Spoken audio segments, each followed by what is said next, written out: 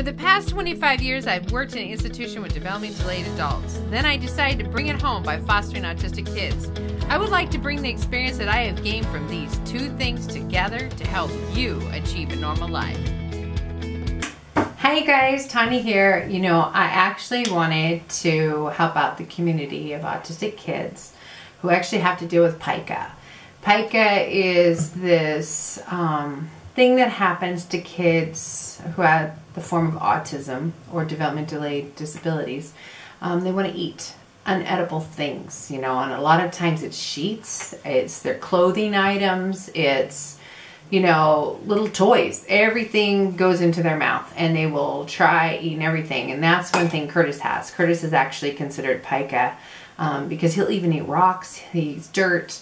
Um, and so because of this, I wanted to bring this to you guys and show you guys what I've used for Curtis. Um, and now he's kind of over it. Like he doesn't try to eat his sheets anymore. He will sometimes, you know, suck on his clothing and stuff like that, but he doesn't eat his sheets anymore. So sometimes these kids grow out of it, but when he was younger, he actually went after the sheets a lot. And so I wanted to show you guys um, about how I got this sheet.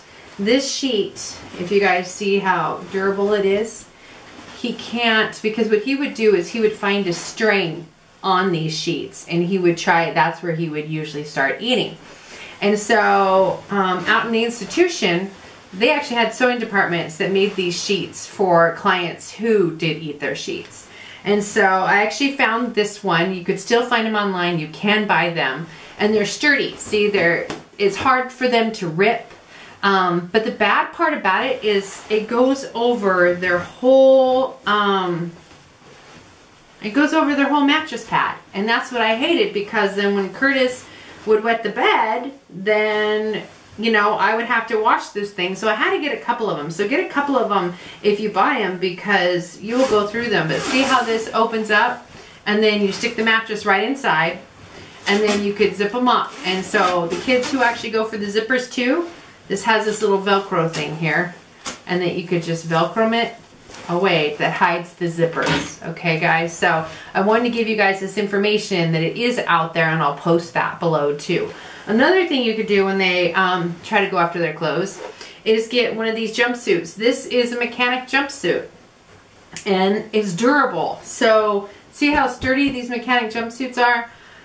This is for a mechanic that works on your car, but you know what? These are sturdy. They're sturdy and it's harder for the kids to rip up and try to eat. So I just thought I'd bring this out to you two guys today. Um, you could buy these sometimes at Walmart, but I'll also put down where I actually buy them from. I actually buy them from a linen store. They actually sell these things, but see how it looks? So it's like a jumpsuit that they could wear um, during the day. Um, I do have one of my kids wearing this right now um, for a different behavior that he has. But I wanted to bring this to you guys to let you know there are other things out there that can help ease your life a little bit. Um, so make sure you get two of those sheets if they're still bedwetters, okay? Because you're going to be washing it. Um, but this will help you a lot. It'll at ease instead of them ripping up their clothes all the time. These are a lot more sturdier and a lot, last a lot more longer, okay? So I'll put the price down there. I'll put where I get them from. And, you know, hopefully we can all strive to have the best life possible, right? So if you guys have any comments or any new ideas, please post them below. And please subscribe to our channel because it takes an army to raise our kids, right? Bye for now.